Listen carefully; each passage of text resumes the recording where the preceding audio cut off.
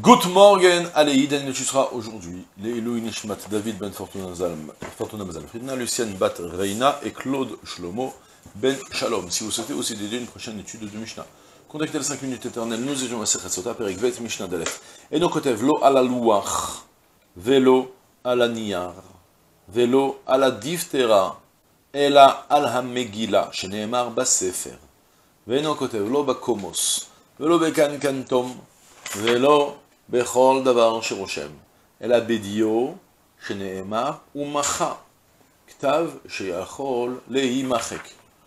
on continue à parler de la préparation des eaux de la sota avec, dans la misère précédente, on a parlé de la manière, des psukim exacts que, le Kohen doit écrire.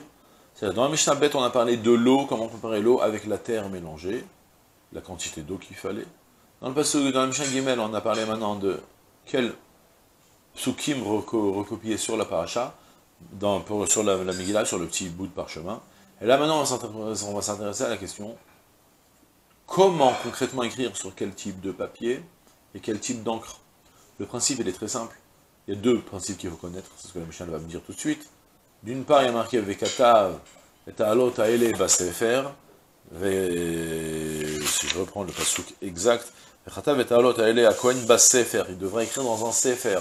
Dans un Sefer, quand il écrit Sefer dans la Torah, ça veut dire dans, une, dans un parchemin. Donc, pas sur du bois, pas sur euh, n'importe quel papier, mais sur du parchemin. Et en plus de ça, tu dois l'écrire avec une encre que d'une part, tu peux lire, c'est une vraie écriture, mais d'un autre côté aussi, quand tu l'écris ensuite, tu vas la mettre dans l'eau et ça va s'effacer complètement. complètement. Parce que pas toutes les encres marchent. En l'occurrence, c'est le dio, ce qu'on appelle le dio dans, la, le Mishnah. Et c'est ce que la Mishnah nous dit, Veno côté velo la louach, velo la niar, velo la diftera. Il n'écrira ni sur un noir en bois, un plateau en bas, en bois, ni sur un papier. Velo la diftera. Diftera, c'est une, euh, une peau qui n'a pas été travaillée.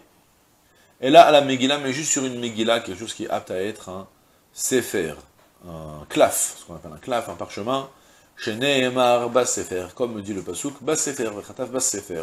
De même, venons que velo bekomos, velo bekankantom, il n'écrira ni dans du komos, ni avec du komos, c'est une sorte de résine d'arbre qu'on fait fondre dans l'eau, et ni bekankantom, c'est aussi euh, encore une autre sorte de d'encre. De, de, de, Vélo, bechol d'avoir j'aime ni avec n'importe quoi qui peut juste euh, écrire, c'est-à-dire des choses chez Rochem qui va s'incruster dans le claf et ne plus s'effacer. Si vous prenez des, il y a des écritures, il y a de l'encre en fait, c'est simple.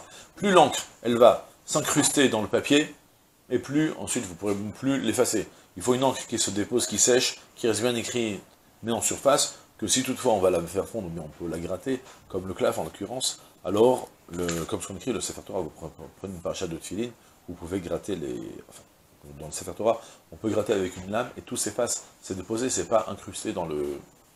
Ça ne s'incruste pas dans le, le parchemin lui-même, et ben c'est le même principe dans la Sota aussi, il faut écrire le Sefer Torah de la sorte, euh, la partie de la Sota de la sorte, et la Bédio dans deux manques, chez Neymar, pourquoi, d'où vient cette nécessité Chez Neymar, Umacha, comme nous dit l'ancien, il, il effacera, il faut que ce soit un Ktav, chez Yachol, Lehimachek, une écriture qui peut être effacée.